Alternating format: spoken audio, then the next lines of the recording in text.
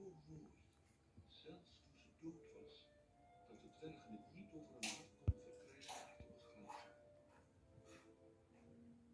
Ze maakten een prachtige kist van glas en goud en hielden voor altijd de wacht bij haar. De prins, die al overal had gezocht,